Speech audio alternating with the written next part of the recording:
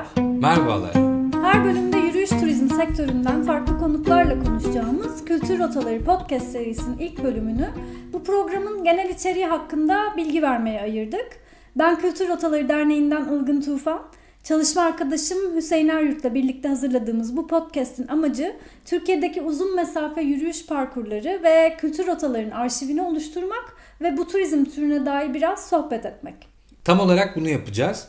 Aynı zamanda bu rotaları oluşturan kişileri ve rota üzerindeki hizmet sağlayıcılarını, mesela konaklama sahiplerini, tur operatörlerini, rotayı kullananlarla yani yürüyüş severlerle buluşturmuş olacağız. İlk bölümümüze e, kültür rotalarının ne olduğu hakkında konuşarak başlamak istedik. Bu kısa bir bölüm olacak ama bazı belli ve önemli hususlara değinmek istiyoruz. E, bir kültür rotası 101 bölümü olarak düşünebilir miyiz? Düşünebiliriz bence.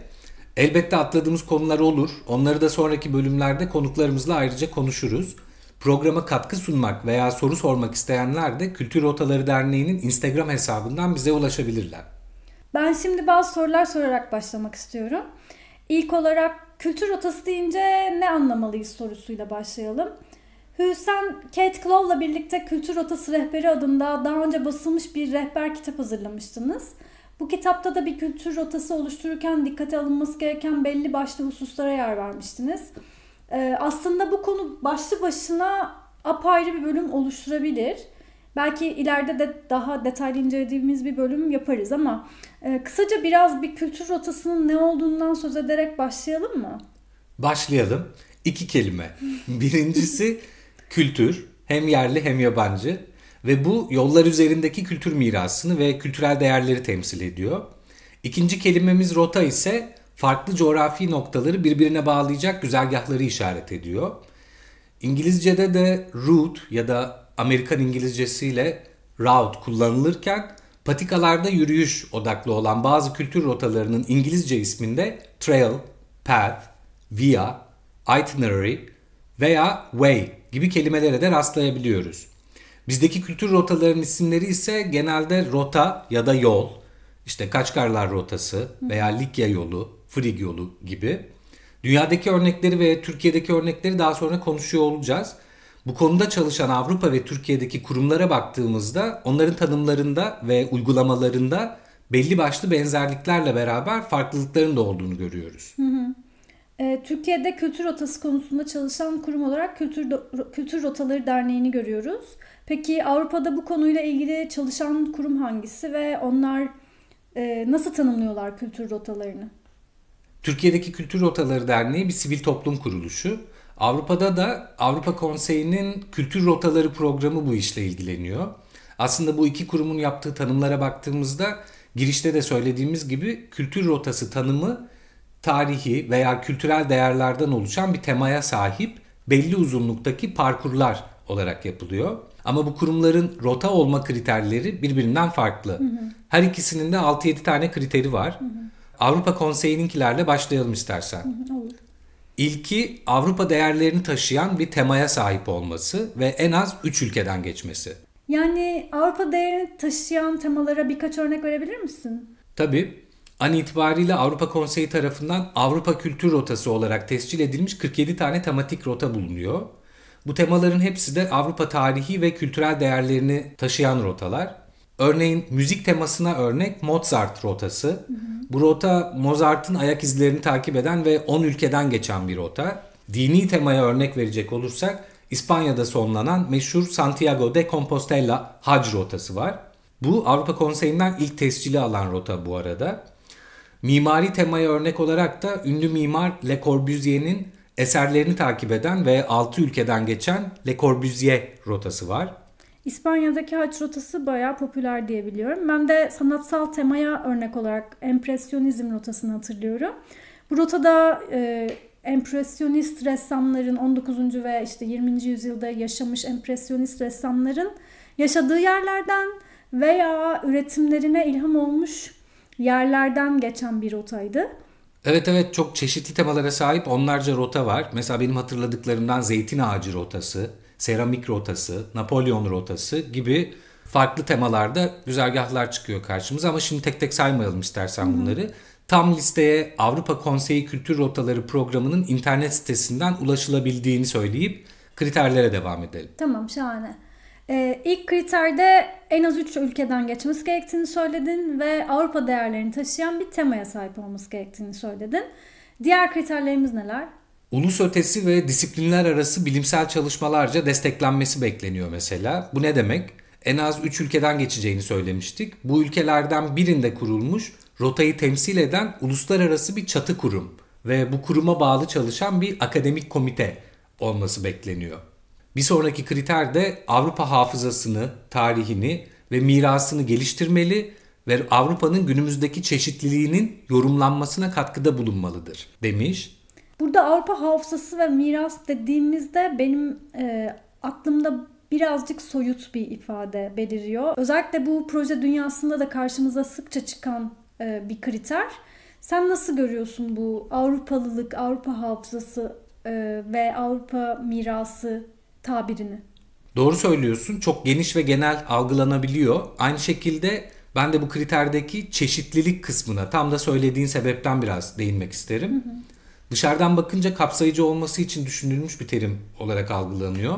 Ama uygulamada yani mevcut rota temalarında bu çeşitlilik biraz kısır kalmış bence. Çeşitlilik deyince akla farklı etnik, kültürel veya dini gruplara mensup topluluklar ve işte onların mirası geliyor. Ama 47 Avrupa kültür rotasına bakarsak azınlık etnik ve dini grupların temsiliyeti biraz soru işareti bırakıyor benim evet. kafamda. Mesela dini tematik rotalarda Hristiyan olmayan tek rota Yahudi mirası rotası var.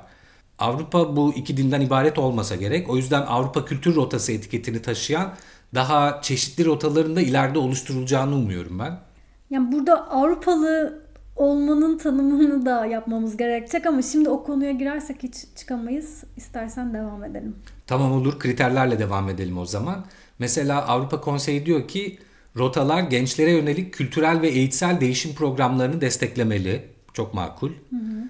Kültür turizmi ve sürdürülebilir kültürel kalkınma alanında örnek ve yenilikçi projeler geliştirmeli. Farklı gruplara yönelik turistik ürün ve hizmetler geliştirmeli diyor. Yani senin de gördüğün üzere işin içinde turizm boyutu da var e, Avrupa ölçeğinde en azından. 2024 itibariyle Avrupa Kültür Rotası olarak tescil edilmek isteyen rotalar için belirtilen kriterler bu şekilde aşağı yukarı. Hı. Bu Avrupa için belirlenen kriterlerdi. Peki Türkiye bağlamında baktığımızda kriterler ne durumda? Mesela Avrupa değerleri teması gibi bir kriter olmasa gerek ya da üç ülkeden geçmesi tam olarak neye tekabül ediyor Türkiye'de? Avrupa Konseyi'ndekinden farklı olarak derneğinkinde tarihi, kültürel veya doğal bir temaya sahip en az 120 kilometre uzunluğunda olma kriteri mevcut. Buradaki birinci fark tarihi ve kültürel değerlerin yanına bir de doğal tema seçeneğinin eklenmiş olması. Örnek verelim.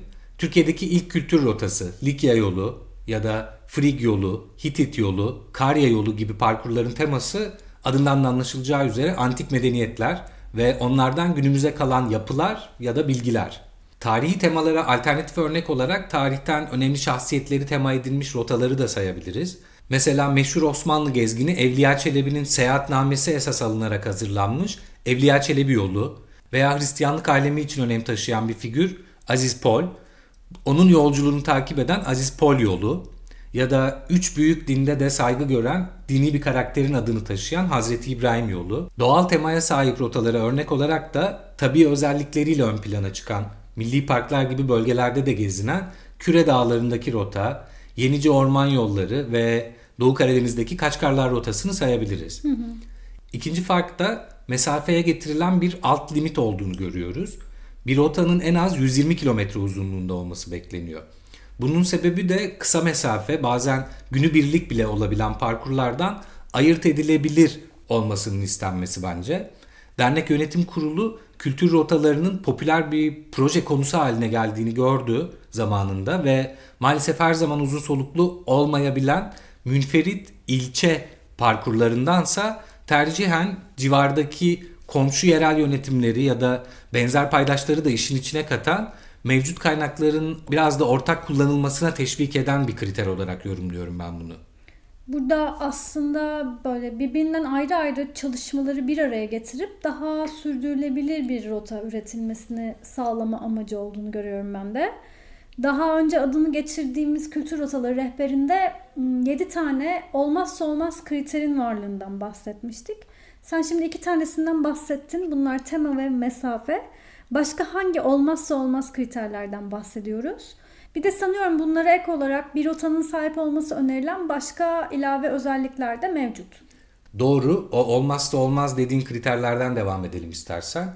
Kültür Rotaları Derneği'ne kişisel veya tüzel bir temsilci üyeliği gerekiyor. Derneğe üye olması gerekiyor. Yani rotayı yapan kişi ya da kurumun. Ee, yine rotanın rehber kaynak ve haritasının bulunması. Aynı şekilde GPS verisinin erişilebilir olması. Çünkü Avrupa'daki örneklerinden farklı olarak dernekteki kültür rotalarının neredeyse tamamı kırsal bölgelerde bazen de dağlık arazilerde gezinen trekking parkurları aynı zamanda. O yüzden yürüyüşçülerin işini kolaylaştıracak bazı standartlar olarak okuyabiliriz bunları. Onun dışında bir internet sayfasının bulunması. Burada e, sosyal medyadan da söz edebiliyor muyuz yoksa sadece yani bir internet sayfası mı gerekiyor? Yok tabii ki yani genel çevrim içi varlığı hı hı. bence kastedilen. E, rota sorumlusunun veya yönetiminin bulunması da diğer bir kriter. Bir de senin de söylediğin gibi bu, bu kriterler yerine getirildikten sonra derneğin her rotaya önerdiği farklı konular da var. Bunlar arasında da boya işaretlerinin olması. E, boya ile ilgili belli standartlar var diye biliyorum. Bundan çok kısaca bahsedelim mi? Tabii. Bunlar da işte dünyada Grand Randonnée olarak bilinen kırmızı beyaz renkte boyalarla yapılan işaretler aslında. Yürüyüşçülerin kaybolmadan rota üzerinde ilerleyebilmelerini sağlıyorlar. E, aynı şekilde öneriler arasında bir de yön tabelaları var. Bunlar da aynı maksatla kullanılıyor. Bir de rotanın düzenli bakım onarımının yapılması öneriliyor. Son olarak bir mobil uygulamanın da olması öneriler arasında. Tabii tüm bu özelliklere ek olarak dernek bünyesinde yer almak isteyen tüm rotaların bilmesi gereken başka bir konu daha var. Bu da dernek yönetim kurulunun büyük önem verdiği ve aynı zamanda dernek tüzüğünde de amaç olarak yer alan oldukça önemli bir konu. Bu da şu, bir rotanın oluşumundan itibaren rota üstünde yaşayan yerel halkın var olan tüm sürece dahil edilmesi ve konaklama ve yeme içmeye benzer hizmetler aracılığıyla bölgede ekonomik ve sosyokültürel bir fayda sağlanmasının teşvik edilmesi. Bu konuda tamamen sürdürülebilirlikle ilgili diyebiliriz. Sürdürülebilirlik bu podcast serisinde adını sıkça duyacağımız bir kelime olacak. Belki şimdi kültür rotaları deyince sürdürülebilirlikle ilgili neleri düşünmeliyiz bunu konuşabiliriz. Ee, sürdürülebilir turizm deyince ne anlıyoruz? Bundan bahsetmek istiyorum ben öncelikle. Mesela sürdürülebilir turizm ile alternatif turizm tam olarak aynı şey mi? Aslında tam olarak aynı olduğunu söyleyemeyiz. Sürdürülebilir turizm daha kapsayıcı bir tanım ve onun altında alternatif turizmle birlikte ekoturizm, trekking, yürüyüş turizmi, kırsal turizm, yavaş turizm veya sorumlu turizm gibi başka ifadelerin de yer aldığını ve bunların kimi zaman birbirleriyle kesişen noktaları olduğunu görüyoruz. Tüm bunların üstünde bir çatı tanım gibi yer alan sürdürülebilir turizmin ise belli başlı temas ettiği ilkeler var. Bu ilkeler Birleşmiş Milletler Çevre Programı ve Birleşmiş Milletler Dünya Turizm Örgütü'nün belirlediği ilkeler. Şimdi biraz onların da adını geçirelim istiyorum. Mesela ekonomik süreklilik, yerel kalkınma, istihdam kalitesi, sosyal katılım ve toplumsal cinsiyet eşitliği, ziyaretçi memnuniyeti, yerelden kontrol edilebilme, toplumsal refah, kültürel zenginlik, fiziki bütünlük, e, biyolojik çeşitlilik, kaynakların verimli kullanımı ve çevresel etki olarak bu ilkeleri söyleyebiliriz. Bu ilkelere ilerleyen bölümlerde daha detaylı değiniriz herhalde değil mi? Evet evet belki derneğin bu ilkelerden bazılarını önceliklendirdiği projelerinden de söz ederiz. Ama bu bölümü şimdilik dernek bünyesinde yer alan rotaları sayarak bitirebiliriz senin için de uygunsa. Tabii. Bunlardan ilki en eskisi ve bilineni meşhur Likya yolu. Antalya'dan Fethiye'ye uzanan ve 2024 itibariyle 760 kilometre uzunluğunda olan bir kültür rotası bu. Yine aynı bölgede Likya'ya alternatif olarak oluşturulmuş Fethiye yürüyüş parkurları var. Yine bir kıyı rotası olan ve adını eski bir medeniyetten alan Karya yolu var mesela. Bu da Güneybatı Ege'de çoğunlukla Muğla sınırlarında gezinen bir parkur. Bunlara ek olarak biraz önce senin adını geçirdiğin iki rota daha var. İlki Antalya ve Isparta sınırlarında yer alan Aziz Pol yolu. İkincisi de Bursa'dan geçen Evliya Çelebi yolu. Bursa'dan geçen bir de Misya yolları var. Adını antik medeniyetlerden alan ve temaları bunlara olan rotalardan devam ediyorum ben izninle. Eskişehir, Afyon, Kütahya üçgeninde gezinen Frig yolu var mesela. Ve Orta Anadolu'da yer alan Hitit yolu var. Ben de Karadeniz bölgesine geçiyorum. Yenice Orman Yolları, Küre Dağları ve Kaçkarlar rotası. Bu üçünün de e, tematik ortak noktası sahip olduğu doğal güzellikler diyebiliriz. Bir de buna ek olarak gene bu bölgede İnebolu ve Kastamonu arasında eski kanı yollarını kullanan ve temasını Türkiye'nin Kurtuluş Savaşı'ndan alan İstiklal yolu var. İstanbul dolaylarındaki rotalara bakacak olursak önce İzmit'teki Hoşgörü yolunu ardından İstanbul Yürüyüşleri adındaki grubun yarattığı parkurları ve İstanbul çevresindeki tahribata dikkat çeken bir sanat projesi olarak ortaya çıkan ve benim de bir kısmını yürüme şansı bulduğum iki deniz arası rotasını ve son olarak Osmanlı'nın Viyana'ya kadar uzanan sınırlarını takip eden Sultanlar yolunu sayabiliriz. Ege'de bulunan rotalara örnek olarak da İzmir çevresindeki Efes-Mimas yolu ile Efeler yolunu ve Çanakkale çevresindeki Troya kültür rotasını söyleyebiliriz. Evet, rotaların teması kültürel özelliklere göre belirleniyor demiştik ve şimdiye kadar hep antik medeniyetleri ya da işte tarihten önemli kişileri izleyen rotaları saydık. Hı hı. Buna farklı bir örnek olarak Kızılırmak Havzası gastronomi ve yürüyüş yolunu söylemeliyiz. Türkiye'nin doğusunda yer alan rotalar arasında da Ağrı Kars ve Sarıkamış'taki dağ ve yürüyüş parkurları ya da Urfa'daki Hazreti İbrahim yolu var. Ki bu sonuncusu aslında Türkiye'nin dışına uzanan uluslararası bir rotanın parçası olmasına rağmen bugünkü bağlantısı Orta Doğu'daki karışıklıklar yüzünden kopmuş durumda ne yazık ki. Uluslararası rotalara örnek olarak işte Sultanlar yolunu da söyledik Viyana'ya kadar uzandığını ama son olarak saydığımız bazı tekil rotaların birbirine bağlanmasıyla oluşan Avrasya yolunu da anmadan geçmeyelim. Bayağı bir rota ismi geçirdik şimdi ama merak etmeyin bunlar hakkında daha detaylı bilgiler içeren başka bölümlerimiz de olacak. Yakında bu rotaların yaratıcılarını ağırlamaya başlayacağız bölümlerimizde. Ama konuklarımız yalnızca bu kişilerden ibaret olsun istemiyoruz. O yüzden kültür rotalarına farklı açılardan bakıp bu rotalarda Kimi zaman yerli ve yabancı yürüyüşçüleri ağırlayan konaklama sahipleri, kimi zaman yürüyüşçülere eşlik eden, e, rota üstündeki kültürel mirası tanıyan trekking rehberleriyle veya rotalara farklı sanatsal boyut kazandıran projelere imza atmış kişilerle de sohbet edeceğiz. E, bu bölümden şimdilik bu kadar diyelim. Önümüzdeki bölümlerde görüşmek dileğiyle. Hoşçakalın. Hoşçakalın.